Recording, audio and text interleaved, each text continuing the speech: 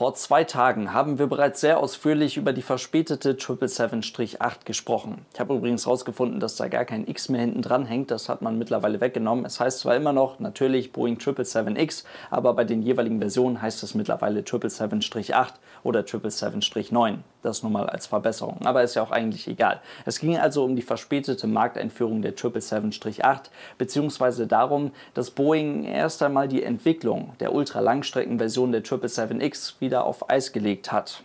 Und im Zuge dessen haben wir auch über ein mögliches Konkurrenzmodell des europäischen Flugzeugbauers Airbus gesprochen. Und zwar über einen eventuellen Airbus A350 1000 Ultra Long Range.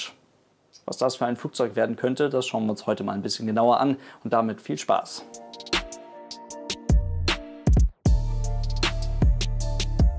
Und damit hallo und ganz herzlich willkommen zu einem neuen Video. Ich hoffe, es geht euch gut. Im Video vor zwei Tagen sind ein paar interessante Stichpunkte gefallen, beispielsweise Ultra Long Range oder Project Sunrise von der Fluggesellschaft Qantas oder auch die konkurrenzlose Boeing 777-9. Auf diese Punkte gehen wir heute mal von der Airbus-Seite etwas genauer ein und wir spekulieren einfach mal so ein bisschen, was uns da in Zukunft noch erwarten könnte. Eventuell habt ihr aus dem letzten Video ja sogar noch die wichtigen Zahlen über das geplante Boeing-Flugzeug im Kopf. Die Boeing 777-8 wird höchstwahrscheinlich mit einer Passagierkapazität von 360, 365 Leuten eine Reichweite von um die 16.100 Kilometer bieten. Das ist ziemlich beeindruckend und damit stand das geplante Boeing-Flugzeug zumindest auf dem Papier lange Zeit auch knapp 600 Kilometer besser da als der mittlerweile schon bei vier Fluggesellschaften fliegende Airbus A350-1000. Nach aktuellen Airbus-Daten und mittlerweile durchgeführten Optimierungen am A350-1000 beim Thema maximales Abfluggewicht und auch bei der Platznutzung der Treibstofftanks konnte man jetzt mittlerweile tatsächlich aber auch mit einer Passagierkapazität von 365 Leuten eine Reichweite von 16.100 Kilometern präsentieren. Und dabei ist der jetzt ja schon fliegende A350-1000 sogar ein kleines Stück sparsamer als die noch geplante 777-8. An der Stelle ist vielleicht noch mal Folgendes ganz wichtig zu sagen, denn man ist ja auch immer so scharf darauf, jetzt endlich mal einen Flugzeugtypen zu sehen, bei dem die maximal angegebene Reichweite bei 20.000 Kilometern liegt. Immerhin ist das die zumindest auf dem Papier logische maximale Reichweite eines Flugzeuges. Immerhin lässt sich dann, theoretisch zumindest, jeder Punkt auf der Erde mit jedem anderen Punkt auf der Erde nonstop miteinander verbinden diese Distanz zurücklegen, das können Passagierflugzeuge, solche Passagierflugzeuge aber tatsächlich schon seit Jahren. Viel interessanter ist dabei dann der Blick auf die sogenannte Nutzlast, wie diese Flugzeuge über diese Distanz dann wirklich transportieren können.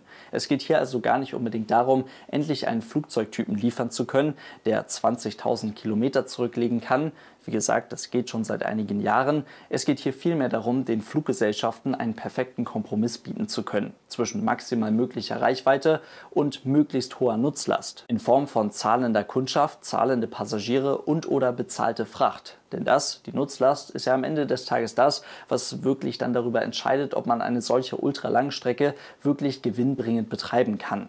Ein gutes Beispiel zur einfachen Verdeutlichung ist dabei der Airbus A340-500, den Singapore Airlines von 2004 bis 2013 für den längsten Nonstop-Linienflug der Welt genutzt hat, von New York nach Singapur. Dieses Flugzeug, das hat für diese Strecke ganze 220.000 Liter Kerosin getankt. Das sind umgerechnet 175 Tonnen Kerosin. Dabei wiegt das betriebsbereite, aber leere Flugzeug schon 168 Tonnen. Da kommt jetzt Treibstoff rein, das sind die eben genannten 175 Tonnen und dann sind wir jetzt schon bei einem ziemlich beeindruckenden Gewicht von 343 Tonnen, ohne dass da ein einziger Passagier drin sitzt. Jetzt haben wir uns die Nummer natürlich sehr, sehr einfach gemacht, aber das kann man tatsächlich schon annähernd so rechnen. Und jetzt haben wir dieses Gewicht, 343 Tonnen, und die Leute, die sich mit dem A340 auskennen, die wissen, da ist nicht mehr wahnsinnig viel Luft nach oben. Bis zum maximalen Abfluggewicht des A340-500 von damals 368 Tonnen hat man noch 25 Tonnen Platz.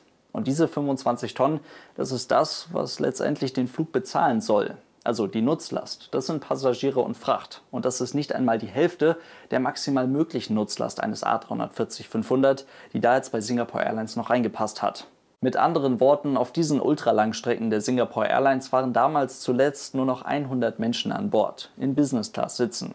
Und der Pro-Kopf-Verbrauch pro geflogenen 100 Kilometer, der betrug damals um die 10 Liter. Heute arbeiten sich große Fluggesellschaften auch auf der Langstrecke ganz langsam aber sicher unter die 3 Liter pro Passagier pro 100 Kilometer. Das ist ein Unterschied. Ihr versteht sicher, worauf ich hinaus möchte. Passagierflugzeuge können bereits seit Jahrzehnten wirklich, wirklich lange Strecken zurücklegen. Aber es geht eben vor allem darum, wie viel zahlende Nutzlast diese Flugzeuge auf diesen langen Strecken mitschleppen können. Und da werden eben jetzt für diese ultralangen Strecken moderne und effiziente Flugzeuge wie die 787, die 777X oder der A350 in seinen Ultralangstreckenvarianten richtig interessant. Und da schauen wir uns doch jetzt einfach mal an, was Airbus denn überhaupt rund um den A350 zu bieten hat. Die Basis des Flugzeuges ist wahrscheinlich allen bestens bekannt. Der Ende 2014 erstmals an eine Fluggesellschaft ausgelieferte A350-900, der liefert uns eine Passagierkapazität von typischerweise 325 Leuten mit einer Reichweite von etwa 15.000 Kilometern. Damit kann der A350-900 natürlich sehr große Distanzen zurücklegen, ist für unsere Betrachtung der Ultralangstrecken aber tatsächlich gar nicht unbedingt so wirklich interessant. Nichtsdestotrotz natürlich ein super schönes Flugzeug. Das Ding wurde von den verschiedenen Fluggesellschaften mittlerweile über 730 Mal bestellt und über 270 Mal fliegt das Ding auch schon irgendwo durch die Gegend. Tja, und dann A350-800, der stand auch mal auf der Agenda, aber das Flugzeug, das wäre einem A330 Neo eindeutig zu ähnlich gewesen. Den A330 Neo kann man aber deutlich günstiger an die Kunden verkaufen. Deswegen A350 800 braucht niemand, weg damit. Und dann finden wir auf der anderen Seite den A350 1000. Typischerweise 365 Passagiere und eine dann maximal mögliche Reichweite von 16.100 Kilometern. Das sind die Werte, die man sich erstmal merken kann.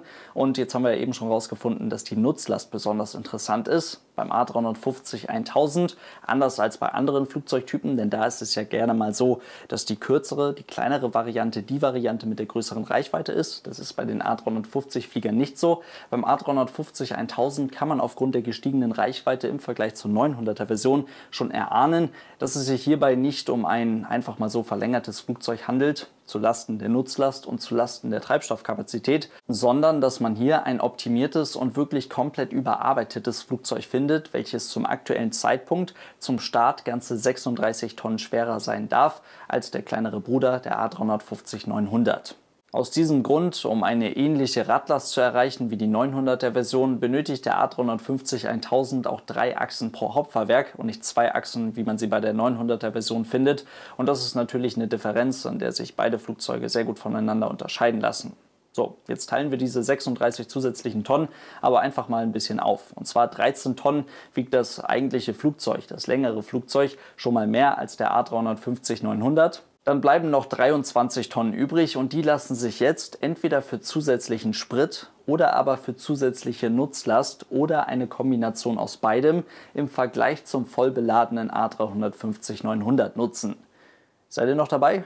Zusammengefasst bedeutet das ganz einfach, beides auf Anschlag, das funktioniert halt eben nicht. Weder beim A350-900 noch beim A350-1000. Also möchte man die maximal mögliche Reichweite aus diesem Flugzeug rausholen, dann geht halt eben nicht die maximal mögliche Nutzlast.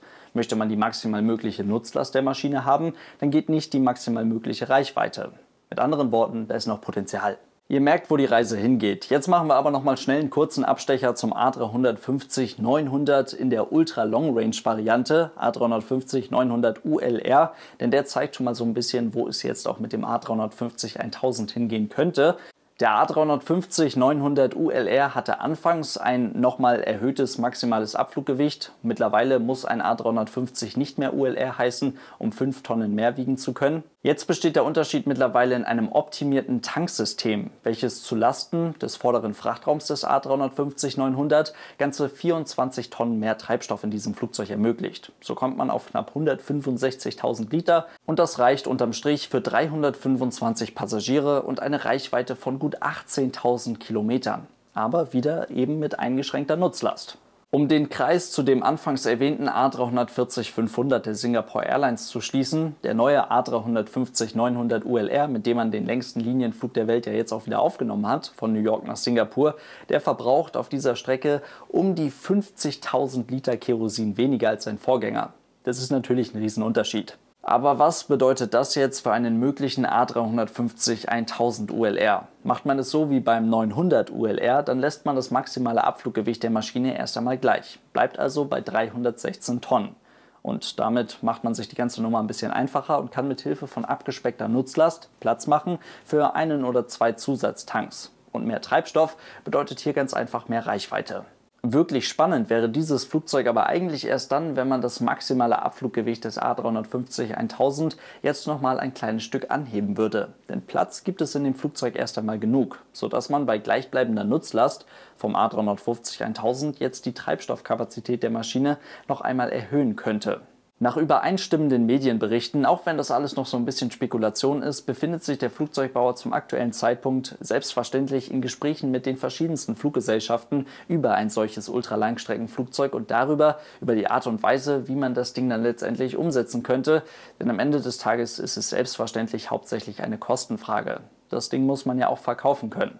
Besonders spannend sind dabei die Pläne der australischen Fluggesellschaft Qantas, denn die möchten mit ihrem Project Sunrise ab 2022, höchstwahrscheinlich zumindest, einige Städte von der australischen Ostküste mit einigen Städten in Europa oder auch in Amerika verbinden. Also es geht da um Strecken wie beispielsweise Sydney nach London, nach Paris oder nach New York. Ende 2019 könnte dort eventuell schon eine Entscheidung stehen, entweder für 777X oder für den Airbus A350. Jetzt kommt es also ganz einfach auf die Hersteller an, was sie der Fluggesellschaft bieten können. Und das alles ist wie gesagt wieder ein Kompromiss. Man kann nicht davon erwarten, dass dieses Flugzeug ein Verkaufsschlager werden wird. Mit an Sicherheit grenzender Wahrscheinlichkeit wird es das nicht, denn dafür ist das Geschäft mit der Ultralangstrecke dann doch ganz einfach zu klein. Die Möglichkeit besteht also auf jeden Fall, dass wir in den nächsten Monaten und Jahren einen Airbus A350-1000 als Ultra-Long-Range-Flugzeug sehen. Mit Platz für 365 Passagiere und Reichweiten von um die 17.000, 17.500 Kilometer und das alles eben bei gleichbleibend guter Nutzlast. Und das ist eben der entscheidende Punkt. Und dann, wenn das funktioniert hat, dann ist Airbus ohne Zweifel für die Zukunft, für die nahe Zukunft zumindest, sehr viel besser aufgestellt als der amerikanische Flugzeugbauer in diesem Bereich. Was der A350-1000 aber tatsächlich nicht kann, das ist die Vierstrahler-Restos ersetzen. Das kann dafür aber die 777-9. Airbus lässt die Öffentlichkeit aber schon seit Monaten oder vielleicht sogar auch schon seit Jahren über einen nochmals verlängerten A350 spekulieren. Also über einen A350 2000 oder 1100 oder wie auch immer. Das Ganze entstand daraus, dass Airbus irgendwann mal Werte rausgegeben hat, Berechnungen veröffentlicht hat, in denen es darum ging, dass ein auf bis zu 79 Meter verlängerter A350 nur wenige Prozent zusätzlichen Schub und damit auch nur wenige Prozent zusätzlichen Treibstoff für seine Flügel benötigen würde. Gleichzeitig könnte das fast 80 Meter lange Flugzeug dann aber natürlich nochmal 45 zusätzliche Sitze transportieren und somit nochmal ein ganzes Stück näher Richtung 777-9 rutschen. Also das Ergebnis, was wir aus diesem Video rausziehen können, ist auf jeden Fall, der A350-1000 ist bei weitem noch nicht das Ende der Fahnenstange. Da wird in den nächsten Monaten sicherlich einiges passieren, was dann bei diesem ganzen Thema Ultralangstrecke, über das wir die letzten 10 Minuten gesprochen haben, nochmal eine richtig ordentliche Schippe drauflegen wird. Da können wir echt gespannt sein. Und damit soll es das heute gewesen sein. Vielen lieben Dank fürs Zuschauen. Ich hoffe, das ging mit dem Licht. Ist doch etwas dunkel geworden, aber naja. Ich hoffe trotzdem, dass es euch gefallen hat und dann sehen wir uns hoffentlich morgen bei einem neuen Video wieder. Ich freue mich sehr auf euer Feedback zum Video. Spekuliert gerne ein bisschen mit und dann bis morgen. Lasst es euch gut gehen und tschüss.